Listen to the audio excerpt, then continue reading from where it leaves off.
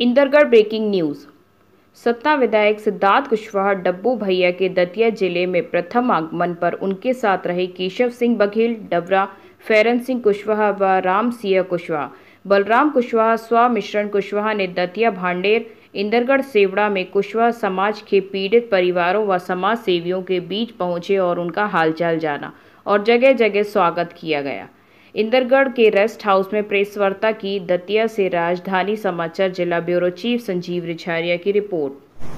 आज की जो प्रेस वार्ता सर आपने इंदरगढ़ के रेस्ट हाउस में रखी है तो पहले तो इस प्रेस वार्ता में सभी पत्रकारों की ओर से आपको इंदरगढ़ में बहुत बहुत स्वागत बंधन अभिनंदन सभी अतिथियों का। सर इसका उद्देश्य हम लोगों को अवगत कराएँ। देखिए यहाँ पर उपस्थित सभी हमारे जो पत्रकार बंधु हैं, सभी का मैं बहुत बहुत धन्यवाद करता हूँ, स्वागत भी करता हूँ कि आपने अपना मूल्य समय हमें दिया है। क्योंकि हम लोग निकले थे सामाजिक जो रिश्ते होते हैं, उन्हें निभाने के लिए। तमाम जो गतिविधियाँ देखने में आई हैं जब से सरकार बदली है तो आम आदमी न्याय के लिए भटक रहा है। जी। अपराध बढ़ते जा रहे हैं।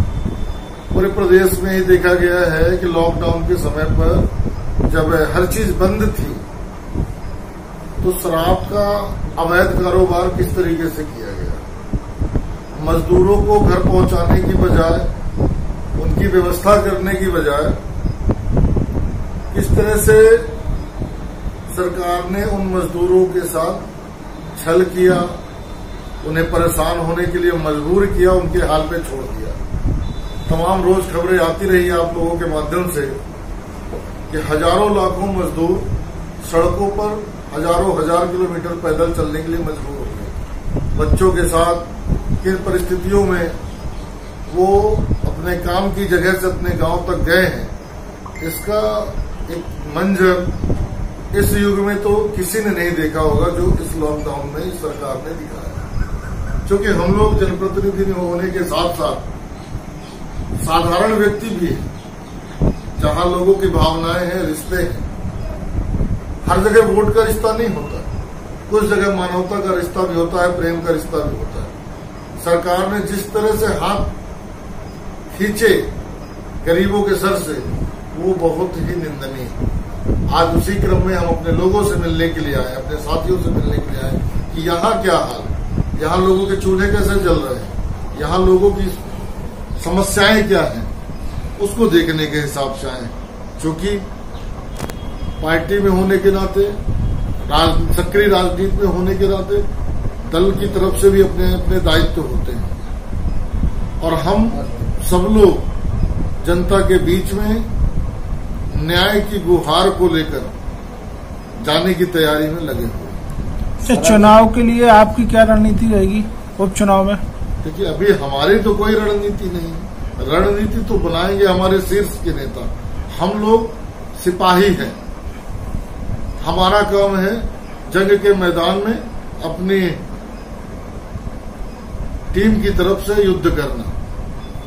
उसकी हम तैयारी कर रहे हैं। उसकी हम मैंने आपसे पहले भी कहा बातों बातों में कि भाई पहले हम मिट्टी को तो परख लें कि कौन सा बीज बोया जाए। तो जब तक आचार संहिता नहीं लगती, जब तक स्थितियाँ सामान्य नहीं होती, तब तक हम अपने लोगों के माध्यम से रूबरू होकर जानना चाहते हैं कि यहाँ की जनता की आम राय क्या है, उनकी सोच क्या है, वो कैसा सोच रहे वो क्या चाह रहे हैं, उसके हिसाब से आगे जो होगा।